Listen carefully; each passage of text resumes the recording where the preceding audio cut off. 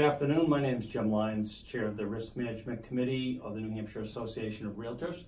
Today, I'm pleased to be with Attorney Matt Johnson from Devine Millimet, counsel to the New Hampshire Association of Realtors. And we're going to talk today about uh, the implications of short-term rentals on properties uh, that realtors may have either listed for sale or be representing a buyer in the purchase of. So um, the, the, entire segment of short-term rentals is growing rapidly, and there's a lot of uh, legal implications developing. So today, um, Matt, I'd like to talk about the best practices and areas of risk that listing agents uh, first should be aware of, and then if we can move into what considerations that a buyer's agent might want to be aware of. Great, certainly, Jim. So first, we'll talk about uh, listing agents. This is a, as Jim you mentioned, this is an area of exponential growth in the marketplace, but it also has challenges to it.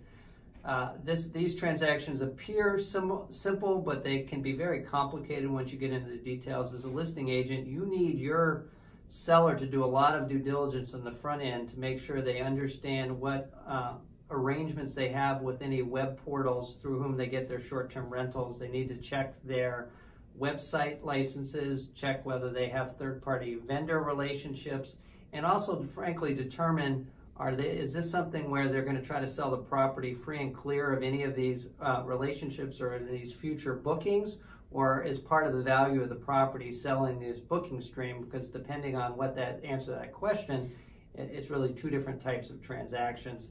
Um, so as a listing agent, ideally your goal is to prompt the seller to look into these questions, ask these questions, make them get you some documentation. If there's going to be representations about the financial performance of the property, you really need to make sure that that has a solid underpinning to it. Neither you nor the seller want to be accused later on of misrepresenting the value or performance of the property.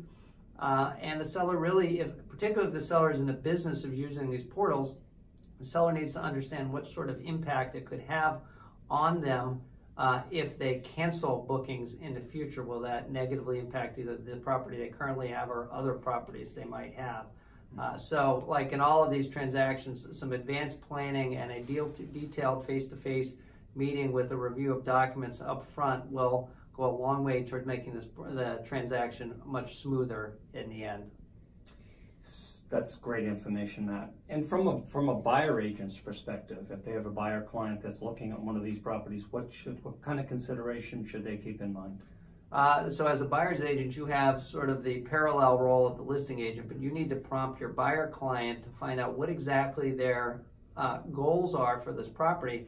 The buyer may be buying hypothetically a vacation home with no interest in short-term rentals or doing anything, so the buyer may just want it free and clear and not really care about the ability to do that. But the buyer may be buy, buying this as either a full investment income property or maybe a partial investment income property, and they may very well want the marketing, they may want the website or the print ads to continue for the property. They may need to know what the portal is. They, there may be bookings that are valuable to the economics and make the property financeable that they need to make sure will transfer and continue on. You need to talk with the buyer about do they want to do anything with the property if they're envisioning substantial renovations or changes that may impact some of the bookings.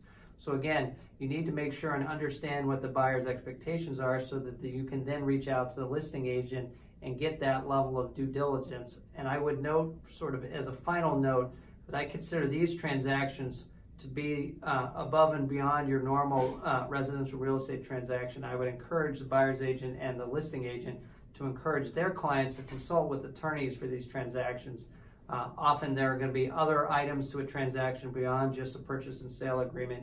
You may have a bill of sale to transfer some personal property. So this gets to the point where the buyer and the seller would be wise to engage counsel to help them make sure they've covered all of their bases and make sure transaction moves smoothly and both parties get what they thought they were getting uh, when they entered into it. That's great information, Matt. Uh, thank you for uh, sharing that with us. This is, as I said, an evolving topic. Uh, there's a lot of controversy around short-term rentals um, throughout the state. Um, so look for additional information uh, and videos from um, New Hampshire Association of Realtors on the topic. Thank you. Thank you, You're welcome.